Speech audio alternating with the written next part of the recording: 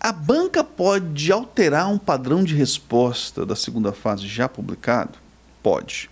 Isso pode funcionar em três momentos, na verdade. Nós temos a prova da segunda fase. No dia da prova da segunda fase é divulgado o padrão de respostas. Né? O padrão de resposta é justificativa teórico para a peça e as questões.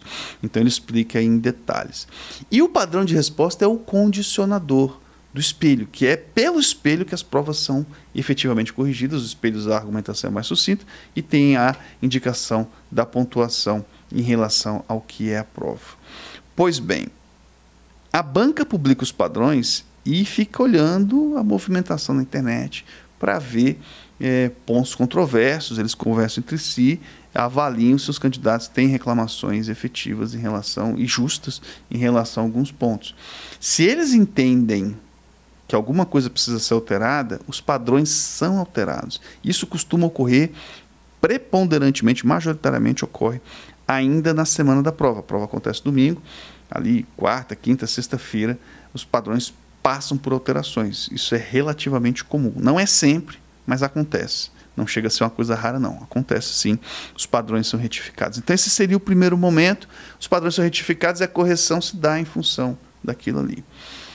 Pode ser também que durante a correção eles resolvam alterar o espelho de correção por algum motivo às vezes uma continuidade de uma controvérsia, alguma decisão, enfim, por um motivo, eles alteram isso e não altera no padrão, altera até a lógica da correção. E o candidato só vê isso, às vezes nem percebe, mas só vê isso no dia do resultado preliminar. Então já vem com uma flexibilização. Pode acontecer também de itens de correção serem suprimidos não raro candidato, professor, teve um item que eu escrevi, mas não consta no espelho. Eu quero recorrer disso. Não tem recurso para isso. Se a banca não colocou um item no espelho, já aconteceu, não colocou um item no espelho, não tem o que fazer. Né? Não é critério de correção, não tem o que fazer. É impossível recorrer nesses casos.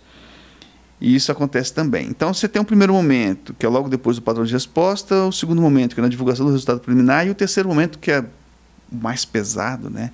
o que eh, chama mais atenção é na hora que os candidatos vão recorrer.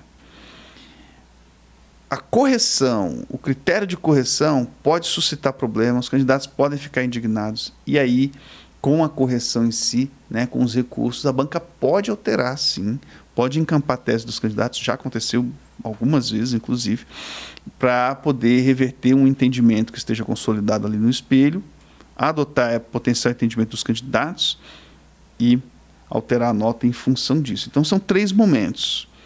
Antes, literalmente, antes, durante e depois. O terceiro momento é com recurso. É, e o recurso ele precisa ser consistente e precisa de adesão.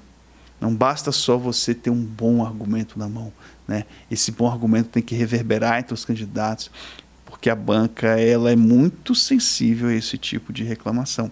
Mas é aquele negócio a reclamação tem que ter fundamento, porque se a reclamação não é com fundamento, é só baseada no desejo de aprovar, mas não tem um lastro lógico, um lastro jurídico, a chance é ínfima, ínfima mesmo.